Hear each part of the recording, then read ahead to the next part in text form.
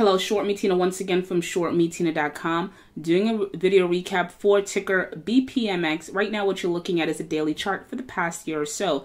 Uh, again, with BPMX, I've done a video almost every day for the past few weeks, and my stance has not necessarily changed. The stock is fair as long as we can hold on, like I indicated yesterday, as long as we can sort of hold on to 19 cents, you should be fine. I know the last four days they've been selling. However, I wouldn't really take the selling too much um, as a problem because it has not really been on above average volume, right?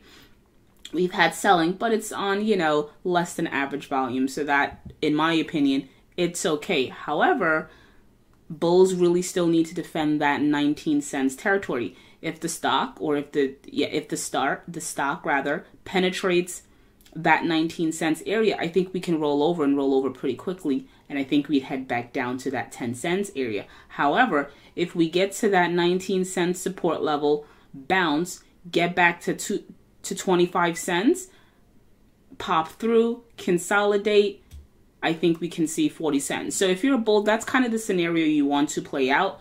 It's fine if it drifts to around 19 cents, but you want it to like bounce from there. You don't really want it to collapse. You want it to bounce at 19, get up to 25, penetrate 25 with volume, consolidate some more, and then that shot to 40 cents will be relatively easy. But again, pay attention to 19 cents. If it breaks, I think we we are going to roll over and hit 10 cents. So that's it. Short Me Tina from shortmetina.com. Head on over to shortmetina.com, sign up, become a member. Thank you for listening, and as always, thank you for the support.